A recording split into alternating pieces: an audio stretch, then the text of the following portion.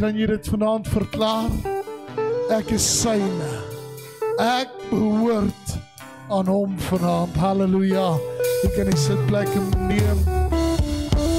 Wil vir die musiekspan sê baie dankie. Is altyd lekker om saam met hulle te bedien en lekker om die naam van die Here groot te maak en sy lof te besing.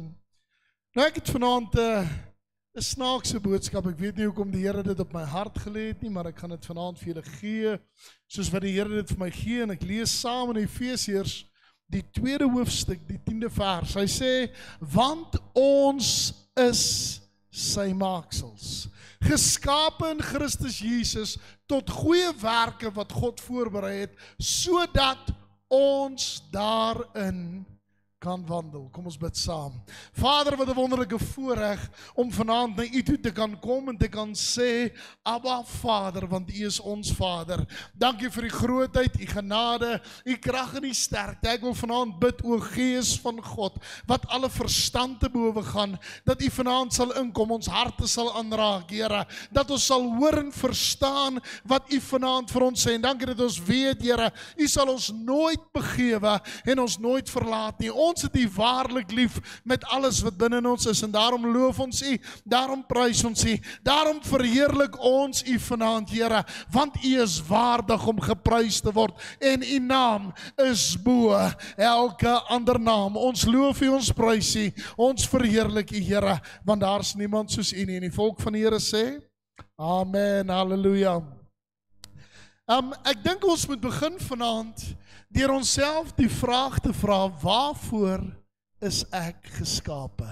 As ek gaan kyk na die woord van die Here, dan sê hy want ons is sy makels, maaksels, geskape in Christus Jesus tot goeie werke. En hierdie het my dadelik getref vir die rede ek wonder of dit wat ek en jy mee besig is, werklik dit is wat God wil hê ons moet doen. Is ons vandaan op die plek waar ons kan sê ek is geskape om goed te doen. Ek is geskape vir goeie werke. Maar hoe voel jy vanaand? Jy sien, ek wil hê jy moet vanaand verstaan dat baie keer in ons lewens kom ons op 'n sekere plek waar dit vir ons voel ek is nie besig met die regte dinge nie. Ek weet nie of dit jy al so gevoel in jou lewe nie. Ek het al baie keer tot die gevoel gekom, dan wonder ek, is ek regtig besig met die regte dinge? Is ek besig met dit wat werklik belangrik is of is ek dalk gesaai trek? Is ek dalk op hierdie oomblik besig om dinge te doen wat ek nie werklik wil doen nie? En dadelik toe ek na hierdie gedeelte gaan kyk, toe begin ek te besef dat ek is gemaak vir goeie werke. Ek is gemaak vir dit wat God my voorgeroep het. Ek is gemaak en ek is hier vanaand omdat God my geroep het en gemaak het om goeie dinge te doen. En dadelik toe dink ek daaraan, daar's soveel mense wat ons in die woord van God gaan kyk na en dan is hy op 'n verkeerde weg. Daar's 'n verkeerde pad wat in sy lewe opgekom het. Daar's 'n dwaalweg. Daar's sekere dinge wat hy mee besig is en dan is dit maar net God se manier om hom voor te berei, om hom terug te bring na 'n plek toe waar God hom eintlik wil hê. En die oomblik toe ek van, vanmiddag hieraan gaan lê en dink en besig was om voor te berei, toe begin die Here met my te praat oor hierdie vrou wat hulle voor Jesus inbring wat gevang was. Sy's besig om egbreek te pleeg. Hulle vat hierdie vrou, hulle gooi haar voor Jesus neer en hulle sê, "Nou die wet van Moses sê ons moet haar met klippe doodgooi want dit waarmee sy besig is, is die verkeerde dinge. Dit waarmee sy besig is, is slegte dinge." Dit waarmee sy besig is, is besig om mense in die afgrond in te kry. So wat wil jy hê moet ons doen? Jy sien ek wil hê moet vanaand verstaan dat elkeen van ons wat vanaand hier sit, het sonde in ons lewe. Elkeen van ons wat vanaand hier sit, is nie perfek nie. Jy sondig dalk net anders as ek. Maar dit so maklik om te sê pastoor pas op, hoor daai ou of daai vrou, jy weet, jy kry mos daai ooh, daai daai me ooh pastoor, wees versigtig vir hulle, jy weet. Ek wil hê jy moet vanaand verstaan, jy's dalk net besig om te skinder, so jy's nog erger. Jy's dalk net besig om iets anders te doen op 'n ander manier, maar jy pleeg dieselfde sonde, want daar is nie ding soos groot en klein sondes nie. Daar is nie vanaand iets en en terwyl hierdie vrou voor Jesus lê, besef sy, kom sy tot die besef en sy wonder, is ek besig met die regte dinge? Is ek werklik besig met dit waarvoor ek geskaap is? Ek wil hê moet dit vanaand verstaan, want dis wanneer jy in 'n situasie kom waar jy gekonfronteer word met lewe of dood, waar jy gekonfronteer word met of ek reg of verkeerd is, dat jy baie maklik sal agterkom ek's verkeerd. Wanneer dit met jou goed gaan en wanneer dit lekker is, dan worry jy nie daaroor nie. Maar die oomblik wat jy daarmee gekonfronteer word, die oomblik wat jy op daai posisie kom wat jy sê, "Ja, dis nie waarvoor ek gemaak is nie." Dan verander jou hele uitkyk. Jy sien, en ek wil hier vanaand met jou praat oor want Jesus sit voor hulle en hy het nie gekom om te oordeel nie. Dis wat die woord van die Here sê. Jesus maak self die stelling. Hy sê ek het nie gekom om te oordeel nie. Hy sê ek het gekom om te red hulle wat verlore is. Ek is nie hier as 'n judge nie. Ek is nie hier vanaand as iemand wat sê dis wat met jou moet gebeur en jy het dit gedoen so ek dink dit moet met jou gebeur of ek dink jy het bietjie bietjie 'n klap van die windpomp weg of jy het bietjie halskade of iets. Ek, ek dink jy moet dit gebeur en dit nee, dis nie wat hy gedoen het nie. Al wat hy gedoen het is hy daar fokus 'n bietjie begin verander. Hy het vir haar gesê, "Vrou, ehm um, uh, hy, hy het na hulle gekyk en gesê, as as een van julle sonder sonde is, gooi vir my asseblief die eerste klip op haar. En die Bybel sê hy was besig om te skryf van die grond. So hy het eers opgekyk om te kyk of verlaag er gaan gooi met klippe nie. Hy was besig met iets anders op die grond. Jy sien in die oomblik toe ek hierna begin dink, toe dink ek, mevrou, is dit werklik waarvoor jy geskape was? Nee, ek was geskape vir goeie werke. Kan ek dit maar vanaand vir jou sê. Ek dink baie van ons is besig met verkeerde goed. In plaas van dat ons by die goed uitkom waarvoor God ons geskaap het. Ek dink baie van ons is so besig om weg te kruip agter wie ons is en wat ons is en hoe nee pastoor, um, dat ons nie by die goed uitkom wat God ons werklik voorgeroep is nie waarvoor ek gemaak is nie. Ek is hier gemaak vir goeie dinge.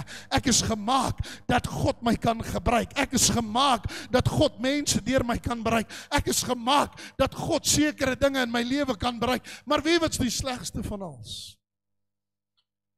Die ou wat die grootste probleem is. Jouself. Jy staan in jou eie pad. En toe ek hierna gaan kyk, toe begin ek myself die vraag vra want jy sien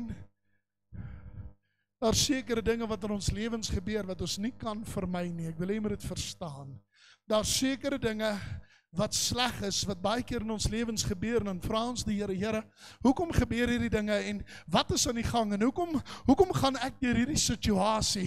Maar wat jy eintlik nie weet nie is God is besig met 'n voorbereidingsproses met jou. Hy vat jou dalk deur die slegte dinge om jou by die beter dinge uit te bring. Hy vat jou dalk deur die onderste poorte van die moeilike omstandighede om jou op die berge te kan neersit. Hy vat jou dalk deur deur omstandighede sodat jy voorberei kan wees op dit wat God vir jou instoor het. Maar ons is so geneig om baie keer te sê ag, pastoor ons is net hier.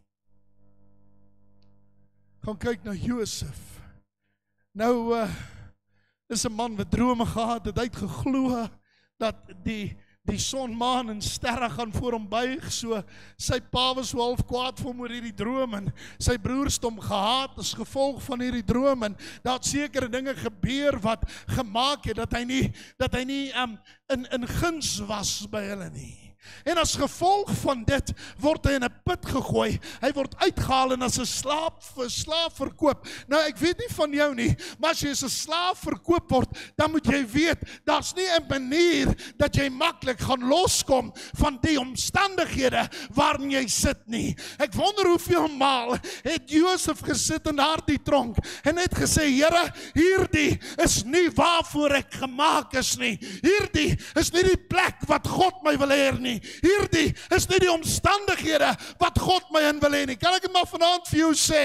Baie keer in jou eie lewe moet jy begin verklaar, moet jy begin spreek en sê, Here, hierdie is nie die plek wat God my in wil hê nie. As jy nie besig is met die goeie ding nie, weet dan dis nie die plek wat God vir jou geskaap het om in te wees nie. Weet dan, daar's vir jou iets beters in stoor. En die woord van die Here sê in Spreuke 18:21, die mag van lewe en dood lê in die tong. En dit wat ons spreek, sal ons die vrug van pluk. Kan ek dit maar vanaand vir jou sê? Begin lewe spreek oor jou omstandighede.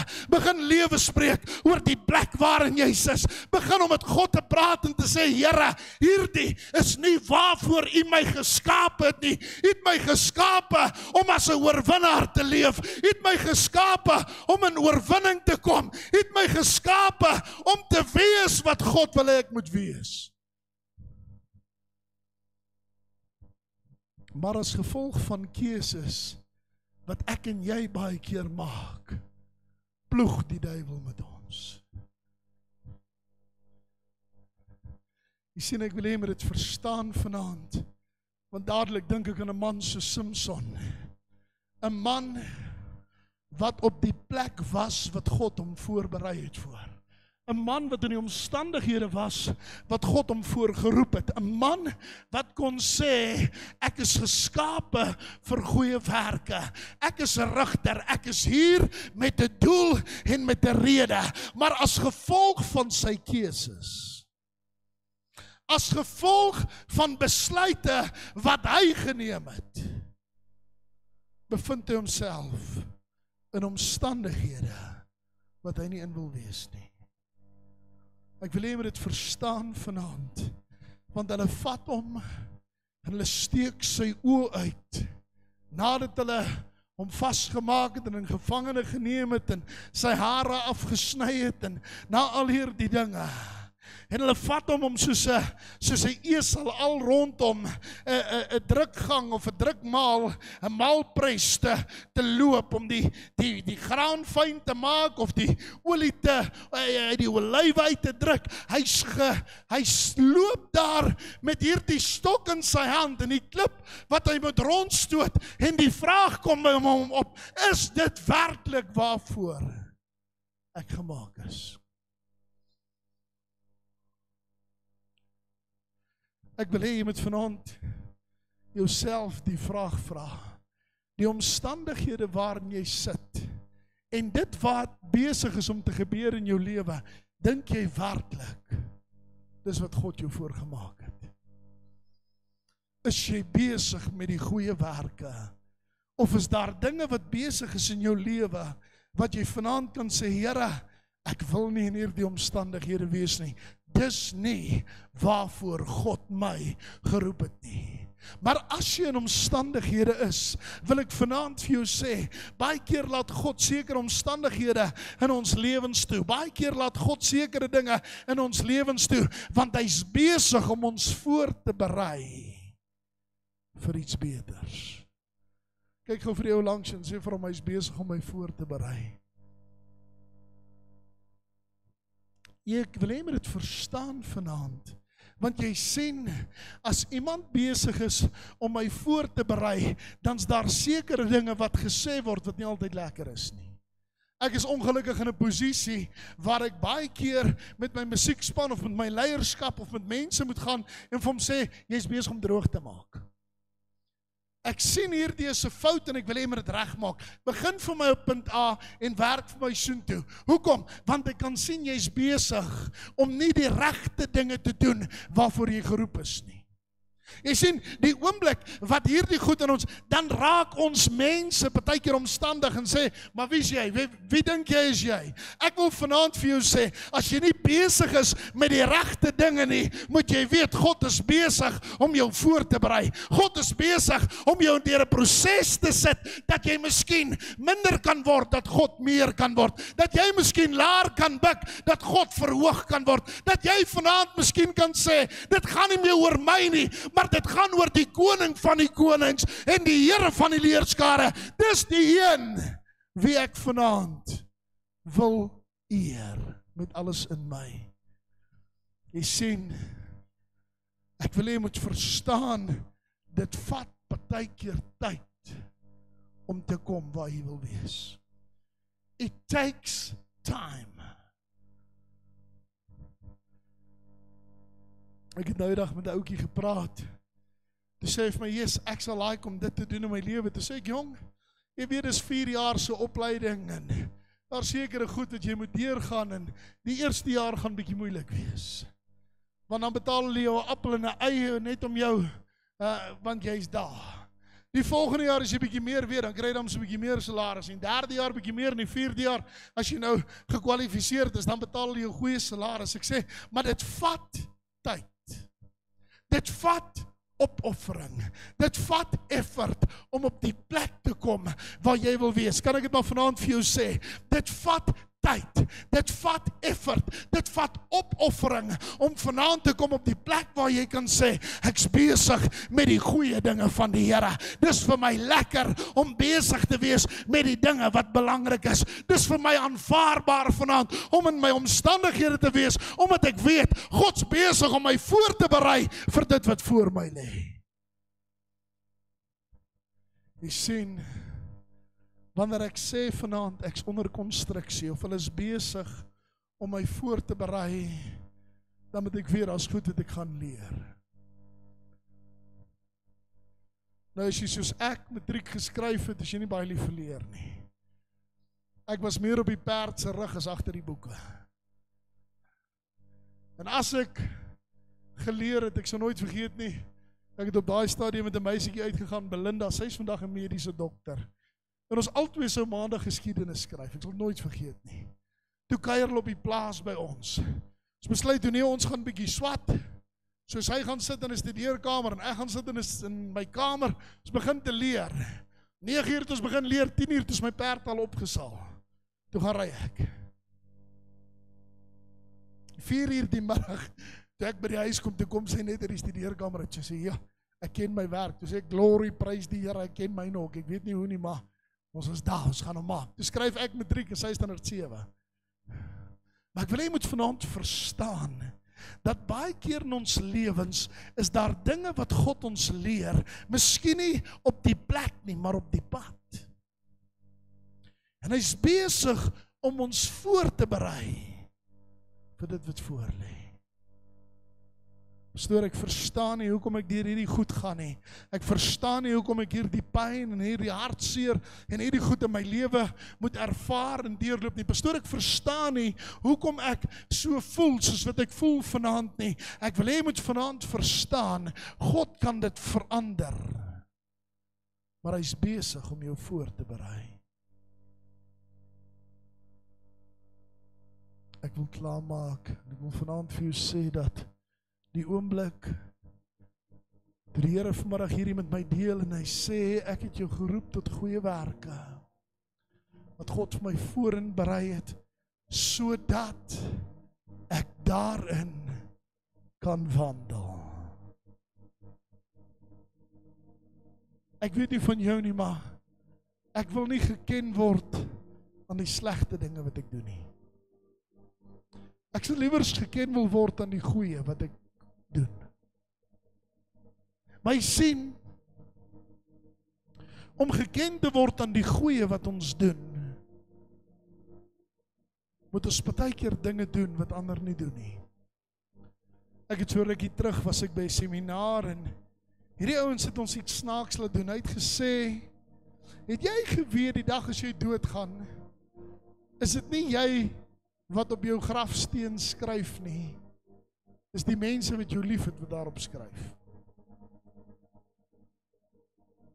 En dit het my laat dink.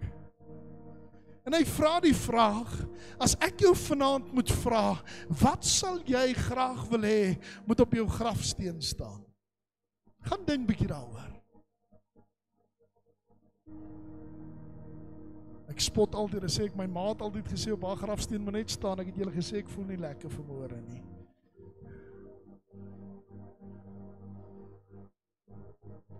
Maar as jy by jou grafsteen staan en jy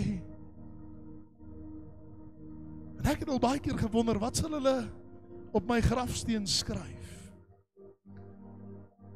Op my pa se grafsteen staan vir die wêreld was jy net ons pa, maar vir ons was jy die wêreld. Want ek en my broer het dit vir hom opgesit. Hy het dit nie self gekies nie, ons het dit gekies. En toe hierdie ou lank met my genoeg met my praat toe, kom ek by die besluit uit. Ek sal daarvan hou dat met op my grafsteen net staan man van God. Al. Ek worry oor niks anders nie. En hierdie ou sê vir my as jy wil hê dit moet op jou grafsteen staan, is daar net een manier om dit op te kry. Leef dit. Jy sien jy's geroep tot goeie werke. En jy kan daarin in wandel en jy kan geken word aan dit waarin jy wandel. Maar jy moet op die plek kom waar jy sê Here, berei my voor vir dit waarvoor U my geroep het. Elke hoof gebuig, elke oog gesluit. Ek wil nie iemand met rondkyk nie. Jy sit vanaand miskien hier en jy sê ag pastoor is dit regtig so belangrik? Ek wil vanaand vir jou sê is dalk die belangrikste ding in jou hele lewe. Want jy sien elke boom word geken aan sy vrugte. As jy 'n perske in jou hand het, dan kom hy van 'n perskeboom af. 'n Lemoen kom van 'n lemoenboom af, van 'n enige vrug, 'n granaat kom van 'n granaatboom af. Enige boom word geken aan sy vrug. En ek weet nie vanaand van jou nie, maar ek wil geken word aan die goeie vrug wat ek dra. En dit gaan miskien beteken dat ek van my slegte goed moet ontslaa raak. My slegte dade, my slegte besluite, my slegte dinge, want ek weet God het my nie geroep om hierdie goed te doen nie. Maar hy het my geroep tot goeie werke. As jy vanaand hier sit en sê Here, verander my hart dat ek goeie werke sal doen, steek op jou hand na God. Ek wil net saam met jou gebed doen. Dankie vir die hande wat reg oor die gehoor opgaan.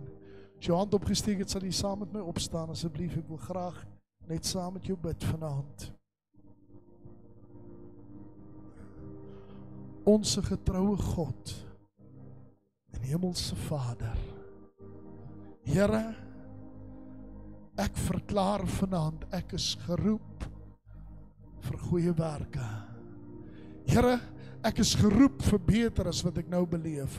Ek is geroep vir dinge wat God vir my instoor het. En Here, as gevolg van my besluite of as gevolg van my keuses, het ek nog nie uitgekom by dit wat God my voorgeroep het nie. Maar ek wil vanaand kom en sê, Here, ek is ek is jammer, maar verander my hart, verander my gees, verander alles in my. Dat ek sal kom op die plek wat God wil hê ek moet wees. Dat ek sal wandel in wat God vir my voorberei het. Here, ek weet as ek vanaand geseënd wil wees, moet ek wandel in dit wat God vir my voorberei het. En daarom wil ek vanaand kom en sê Here, verander my hart. Verander my gees. Verander my denke. Ek het U waarlik lief met alles binne in my en ek eer U daarvoor in Jesus wonderlike naam. Amen en amen. Ek kan nie se plek neem. Ek wil gou laaste gedagte met julle deel terwyl die voorsangers en musikante er na vore kom.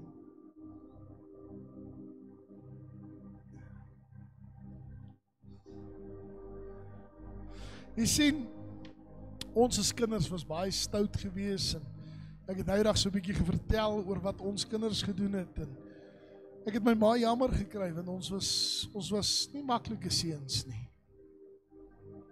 En sy het eendag vir my my eendag gesê I brought you into this world, I'll take you out boy. Ek het jou in hierdie wêreld ingebring, ek sou jou uithaal. En ek het baie oor die goed gaan sit en dink en as mos snaaks so ouer mens word hoe meer dink jy terug aan sulke goeters en sy het eendag vir my gesê jy's nie gebore gewees net omdat ek 'n pa kind wil hê nie. Jy was gebore omdat God 'n plan het met jou lewe En ek wil hê jy moet dit verstaan vandag, want hierdie skrif sê vir my, jy's nie hier net omdat jy dink jy moet hier wees nie. Jy's hier omdat God 'n plan het met jou lewe. En of jy by die plan gaan uitkom van God of nie, is nie God se besluit nie, is jou besluit. Hy het reeds die plan in plek. Hy het reeds die goed in stoor. Dis jou besluit of jy daarbey gaan uitkom of nie. Amen. Dankie Willem. Sy, ons kan almal opstaan vir 'n laaste liedjie saam en dan die broers wat gaan help met die offerande, julle kan ook na vore toe. Thank you.